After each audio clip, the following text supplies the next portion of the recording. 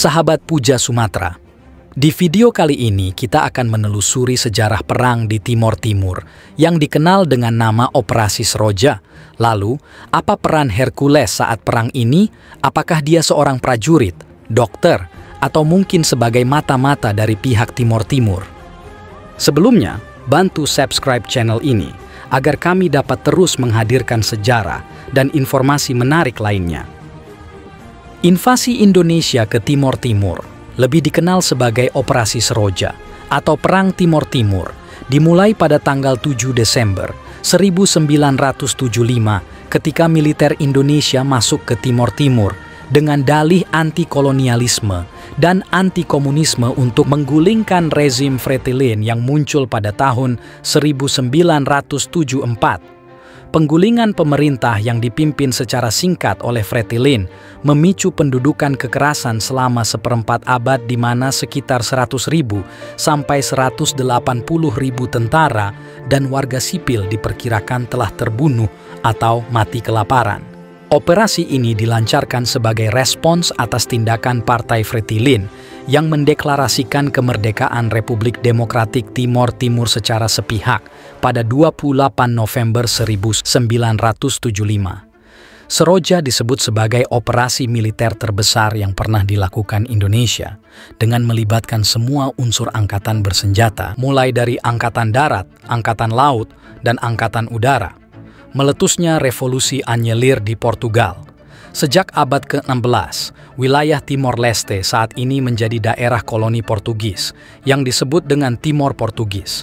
Sedangkan bagian barat Pulau Timor dikuasai oleh Belanda dan disebut sebagai Timor Barat atau Timor Belanda. Ketika Indonesia, termasuk Timor Barat, merdeka dari penjajahan Belanda dan Jepang, Timor Timur tetap menjadi koloni Portugis. Keadaan baru berubah pada 25 April 1974 saat kudeta militer yang dikenal dengan sebutan Revolusi Anyelir terjadi di Portugal. Peristiwa itu turut mempengaruhi nasib Timor Timur. Pasalnya, Presiden Spinola yang baru saja berkuasa di Portugal melakukan dekolonialisasi bagi daerah-daerah jajahannya Hal ini menyebabkan Timor Timur mengalami kekosongan kekuasaan dan memicu lahirnya partai politik. Perseteruan partai politik Timor Timur semakin tidak menentu saat tiga dari partai yang terbentuk, yakni Partai Apodeti, Partai Fretilin, dan Uni Demokrat Timur saling berselisih karena perbedaan prinsip terkait masa depan Timor Timur. Ketiga partai tersebut memiliki misi yang berbeda, di mana Fretilin sangat pro kemerdekaan, Apodeti menginginkan integrasi dengan Indonesia, sedangkan UDT lebih moderat. Situasi semakin memanas usai muncul isu bahwa sayap radikal Fretilin akan mengubah Timor Timur menjadi negara komunis. Menanggapi kudeta oleh UDT pada 11 Agustus 1975, Fretilin segera membentuk sayap bersenjata yang disebut Valintil. Fretilin akhirnya muncul sebagai pemenang setelah tiga minggu terlibat perang saudara dengan UDT. Fretilin mendeklarasikan kemerdekaan.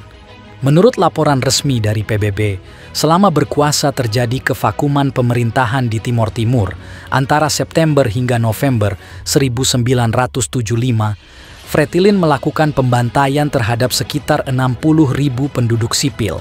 Sebagian besar korbannya adalah pendukung faksi integrasi dengan Indonesia.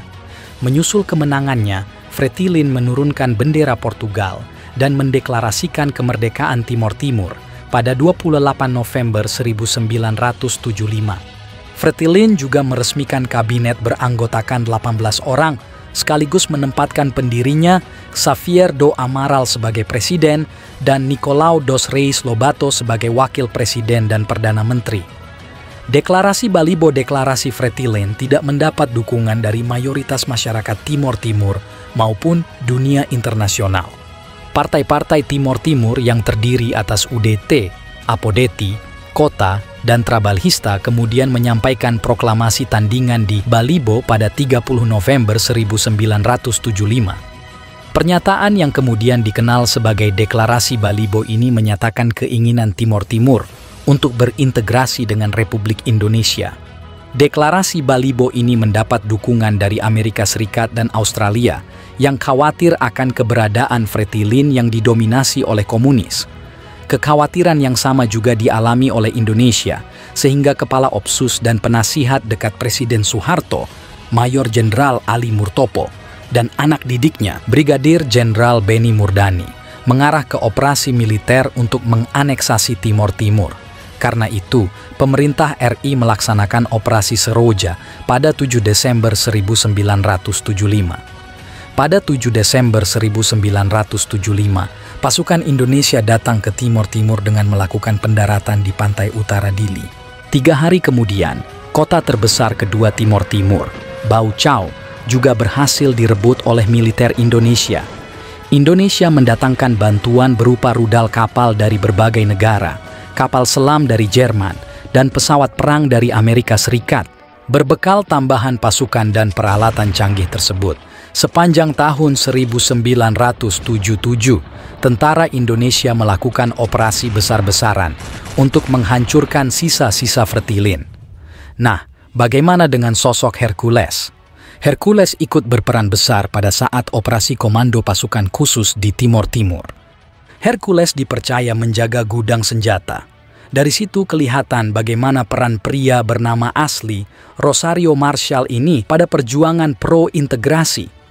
Kesetiaan Hercules itu bahkan membuat Hercules dipercaya sebagai pembantu kepala seksi logistik Kopassus, Mayor Ginting. Suatu ketika, Mayor Ginting meninggal karena sakit, dan satu-satunya orang yang ada di situ adalah Hercules. Terpaksa dia yang pegang gudang senjata itu. Posisi sebagai pemegang kunci gudang senjata adalah hal yang krusial. Tugas itu semestinya dipegang Kopassus. Kalau dipercayakan kepada orang sipil, apalagi warga Timur Timur, bisa saja pengkhianatan terjadi. Bukannya menjaga, bisa-bisa senjata-senjata itu diselundupkan dan dipasok ke kelompok anti-integrasi. Dia bertugas di bidang logistik dan dipercaya menjaga gudang senjata milik Kopassus. Ternyata, pria bernama asli Rosario Marshall ini pernah mencuri granat. Perbuatannya ini terungkap saat Hercules menyiapkan makanan untuk anggota Kopassus. Saat disajikan makanan, anggota Kopassus terheran-heran dengan lauk ikan yang banyak sekali. Sehingga Hercules ditanya ini dari mana? Dia jawab, saya ambil granat buat menangkap ikan. Namun, Kopassus memaklumi pola Hercules. Sebab Hercules dianggap mampu menjaga gudang senjata milik Kopassus hingga aman dan tidak jatuh kepada kelompok perlawanan bersenjata. Dia tidak memihak lawan. Merah putihnya sangat teruji. Hercules bertugas dalam bidang logistik. Dia menyiapkan beras, makanan, hingga mengawal pengiriman logistik bersama Kopassus hingga di pos-pos garis depan. Tentunya itu menanggung risiko tinggi kalau sampai dihadang loyalitas Hercules dalam membantu Kopassus tidak diragukan lagi. Dia bukan tipe warga Timor Timur yang pura-pura membantu Kopassus untuk menjadi mata-mata Fretilin, kelompok anti-integrasi. Lalu bagaimana ceritanya? Hercules bisa di Jakarta dan menjadi penguasa Tanah Abang. Suatu ketika dalam operasi yang dilakukan Kopassus, Hercules mengalami kecelakaan. Tangan kanannya patah dia pun lantas dibawa ke Jakarta untuk mendapatkan perawatan di Rumah Sakit Angkatan Darat Gatot Subroto di Jakarta. Itu terjadi sekitar tahun 1988. Loyalitas tinggi terhadap Indonesia dan perannya dalam operasi membuat pria bernama asli Rosario Marshall ini diberi medali oleh negara. Dia dianugerahi bintang setia lencana Seroja. Dia diusulkan dan mendapatkan penghargaan sekitar tahun 90-an. Saat berada di Jakarta, kisah Hercules berubah. Dia kemudian menjadi preman yang sangat ditakuti di Tanah Abang Jakarta Pusat. Ia memulai petualangannya ke ibu kota-ibu kota sekitar tahun 1988.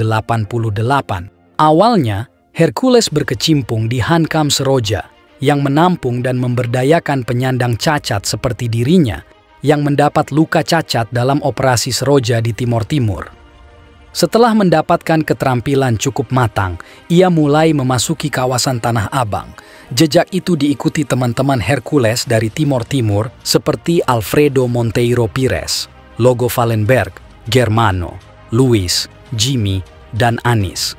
Di Tanah Abang, kelompok Hercules mengelola perjudian, pelacuran, dan pedagang kaki lima. Di kawasan itulah, ia dan kawan-kawannya mulai membangun basis kekuatan dan menguasainya. Dari kelompok kecil hingga jumlah anak buahnya bertambah menjadi 17.000 orang, tersebar di wilayah Jakarta. Hingga akhirnya Hercules memutuskan untuk menjadi mu'alaf. Sejak tahun 90-an, ia sudah mulai belajar untuk memahami Islam. Ia sadar bahwa hidup hanya sementara di dunia. Sekarang ini, Hercules memiliki kebiasaan yang berbeda setelah menjadi mualaf. Ia menikah dengan seorang wanita dan memberi makan ratusan anak yatim serta sering puasa. Hercules mengatakan, hanya dua orang yang dia patuhi, yaitu Prabowo dan Gus Miftah. Jadi walaupun dia sudah tobat, jangan sekali-kali membuat dia tersinggung. Nah, demikianlah serentetan sejarah Perang Seroja dan peran Hercules saat itu. Bila ada kurang lebihnya silahkan tambahkan di komentar. Dikutip dari berbagai sumber. Beliau ini yang bisa merintah cuma dua. Siapa aja mau? Siapa ya, yang bisa merintah. Ya, pertama Pak Menhan dengan Pak Prabowo. Pak Prabowo Subianto. Nomor satu. Karena punya sejarah dengan saya. Nomor dua. Nomor dua, Abagus Miftah.